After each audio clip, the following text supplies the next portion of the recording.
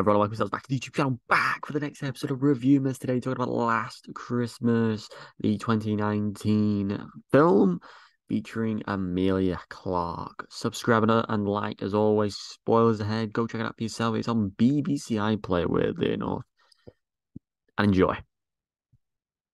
So Last Christmas is actually a film it's one of those films where I think you can only ever watch it properly once. You could watch it again and again for the uh, emotional and the brilliance of it. Um, but the big twist that's revealed at the end, it's like, holy shit, did that just happen? Because you're going through this thing, you know, Emilia Clarke's character, you know, she's a bit of a mess at the start. She takes on this job, dresses an elf in her shop. Uh, she has a boss she goes to the homeless shelter a lot. You know, she meets this guy, handsome fellow, who helps her sort of get through life, get herself organized, and look forward to things. She helps a few characters out. She messes a few things up. She messes things up with her sister. And ultimately, you're driven on this road to see this character become a better person, better individual each day. You know, she makes mistakes, she gets in trouble, you know, but ultimately, the biggest thing about this film is is this connection between this guy she met. Who is he? Why does she have this big spark to him? Is it because he's a handsome fellow? Is it because he's nice?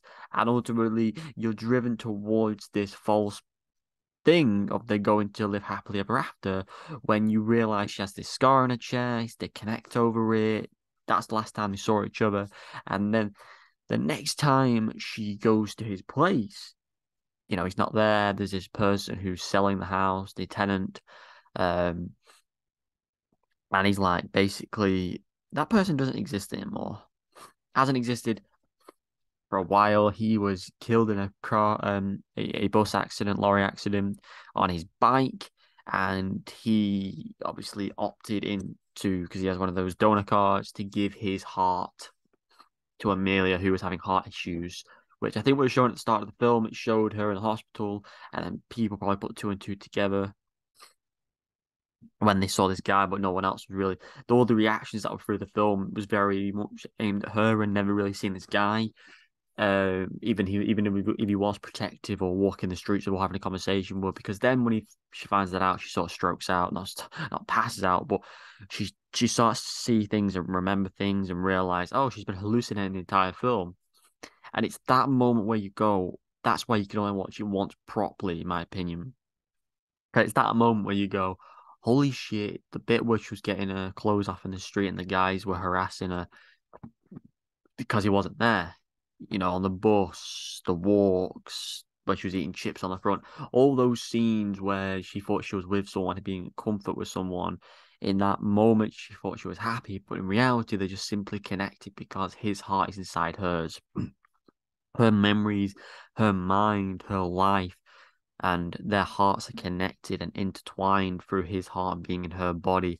I thought it was a beautiful message, an amazing story, well pasted. I love the whole homeless story as well. You know how they, you know, she started singing by herself. They all got involved with the whole Christmas thing. They put on a show, and she sang Last Christmas at the end. And I thought it was a very, very good uh, film with her boss being there, you know, making up with her sister. There was a lot to love about this film their relationship was one of the stronger points, and it was just very heartbreaking for her to realize this entire time she'd been hallucinating, seeing things, and ultimately being been alone this entire time, but comforted by her imagination and realizing even with him gone, she's still got all the people at the homeless shelter, the people in her life, like her sister, her boss, and her family. So it's a great life lesson. It's a great lesson for her in the sense of she's gained more than she's lost. So a brilliant, brilliant film. Um, and it was great to go back and check it out and just see it for the um second viewing. Emilia Clarke is a fine actress. Um, I think his name is I can't remember what his name is. He, he was in Snake Eyes, the um the GI Joe sequel or prequel or spin off recently. He was in um he's been in quite a lot basically. I think he's a great actor. I think the story wise, great, directing, writing. It was all really good to be honest. A fantastic film, nevertheless. I'm gonna give um you know, you know because it wasn't even cliched, it wasn't obvious, it was never one of those films you knew where it was going, but because it had lacks watch rewatchability because of the reveal at the end, I think it's worthy of a 9 out of 10. So Last Christmas gets a 9 out of 10. You guys let me down below in the comments.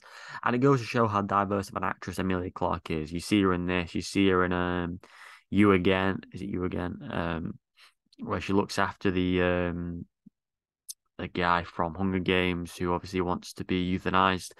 Uh, and obviously Game of Thrones, where she plays Khaleesi, um, Dan- Daenerys Targaryen. So yeah, she's a fantastic actress, nevertheless. And I hope you guys check it out this Christmas period. Thanks for watching as always. Hit that subscribe button and leave a like if you enjoyed the video. And obviously, suggest any more Christmas films you'd like to see on the channel. And obviously, go check out all the previous episodes from this year and last year. And goodbye.